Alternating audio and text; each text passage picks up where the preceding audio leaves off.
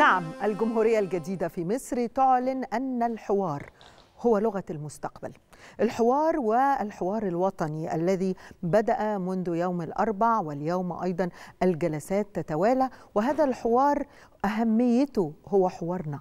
حوار للأسرة المصرية حوار للمجتمع حوار يشمل كل أوجه الموضوعات التي نحن بحاجة إليها.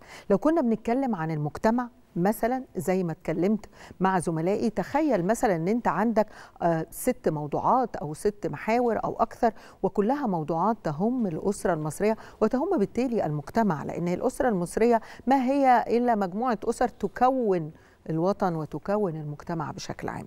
من أهمها قضايا الأسرة. كلما كانت الأسرة المصرية بخير داخل جدران الأسرة وجدران البيت كلما قلت المشاكل خارج في المحاكم. تحولت الآن مشاكل الأسرة المصرية وعدد كبير منها موجود داخل أروقة المحاكم.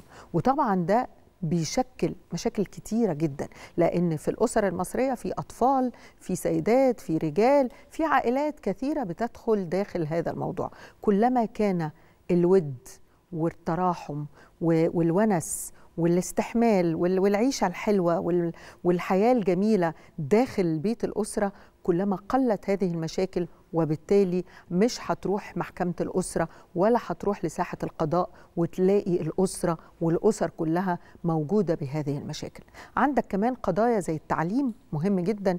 أنت الآن التعليم يتغير والعالم يتغير فلابد أن تنظر إليه بشكل مختلف. الصحة كمان الدولة المصرية بذلت مجهود كبير جدا يعني على مدار السنوات الماضية في تحسين شكل التعامل مع المستشفيات والصحة المصرية والاهتمام بصحة المواطن المصري. وأعتقد كلنا لامسين هذا الموضوع.